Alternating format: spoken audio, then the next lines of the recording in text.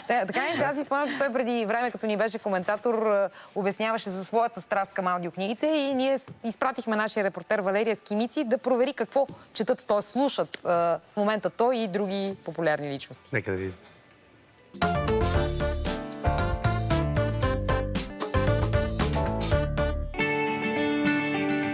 Блогърът Мария Пеева, позната още като мама нинджа, започва да слуша книги преди няколко години. Тогава получава като коледен подарък от синовете си абонамент за стриминг платформа за аудиокниги. Почти всеки уикенд пътуваме.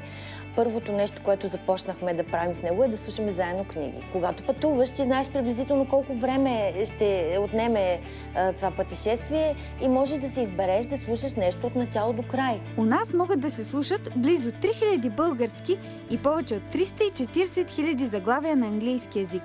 Американско проучване показва, че 73% от потребителите смятат слушането на аудиокниги за отпускащо.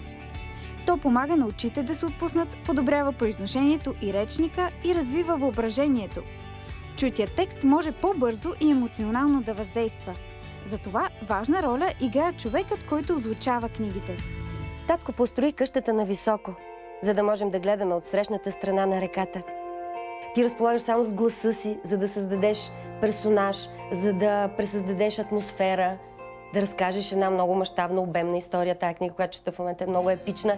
И това е много хубаво предизвикателство, защото ти, ти виждаш текста в момента. Значи, освен героя, ти се запознаваш те първо и с сюжета, точно какво се случва в момента.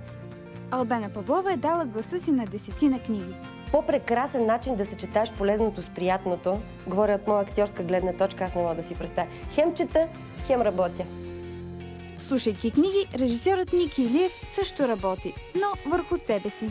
Аудиокниги слушам от както имам Анджи, която е ето там всъщност, от около 4 години. Реално погледнато, като имам един час сутрин, един час вечер с нея и когато съм в колата, например, и други такива моменти, предпочитам да има нещо, което да, да уча, нещо, което да ме занимава по някакъв начин. И в повечето случаи книгите, които слушам, не са романи, нали, не са фикшън, а са по-скоро самообразователни, философски до някъде, псих- психология на моменти, а, в общи линии от този род. По някакъв начин да, да ми подобряват живота и начина на мислене най-вече.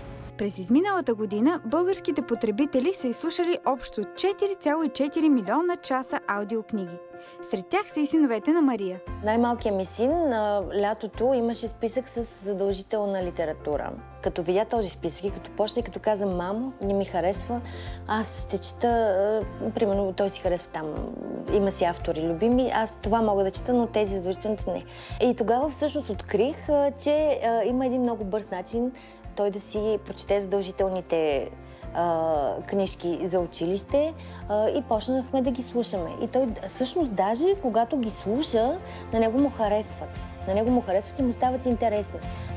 Най-слушани у нас за изминалата година са Хари Потър и Орденът на Феникса, Шантарам и Шогун. От българските заглавия класиката Тютюн е предизвикала най-голям интерес. Като жанрове най-предпочитани са романите и детските истории, но не им отстъпват и книгите за самоусъвършенстване. В момента слушам точно Storytel, Черния лебед на Насим Талеб, The Black Swan. И слушал съм 11 часа и 49 и 56 секунди и ми остава 2 часа и 30. Мария Пеева вярва, че навиците на запалените читатели няма да се променят заради новите технологии. Има книга, която заслушвам, харесвам и нищо, че мога да си я доизслушам, отивам и си я купувам, защото искам да имам и хартиено копие. Аз съм от малко по-старомодните читатели, които обичат да държат, да им тежи на ръчичките, да мирише на хартия, но тази форма на четене се налага все повече и повече и според мен бъдещето е там и място за още. Място за мен.